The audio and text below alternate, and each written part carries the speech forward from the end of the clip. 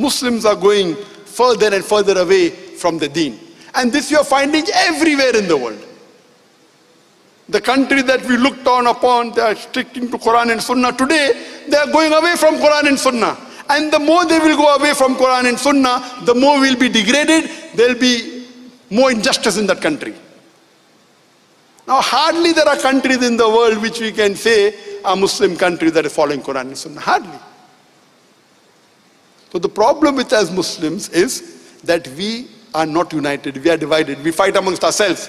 If we are united, today we know that previously Muslims were at least united on the issue of Palestine. Today we are divided.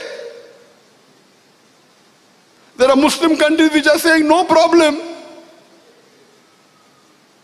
that Israel wants to take over the country.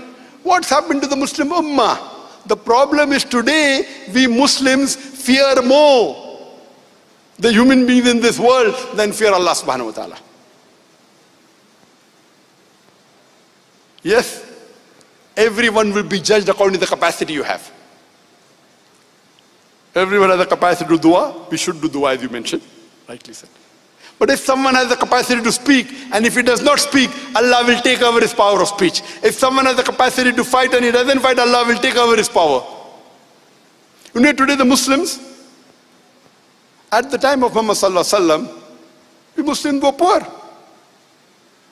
What Prophet Muhammad Sallallahu left behind was the Sahaba, was the Khulfa Rashidin. Today, we Muslims are the richest in the world. We have the black gold, we have the oil, we have the petrol. What are we? Nothing. We have been used as doormats.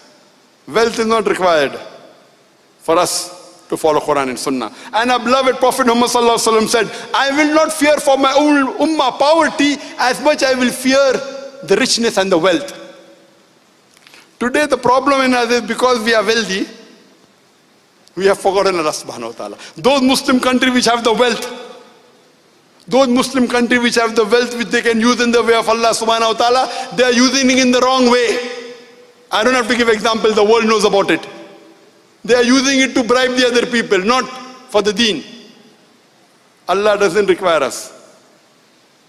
You and me, the rubbish that we are, Allah does not require us to make His deen prevail. Allah is very clear. And Allah says in the Quran in no less than three different places. In Surah Tawbah, chapter number 9, verse number 33 in Surah Fatah chapter number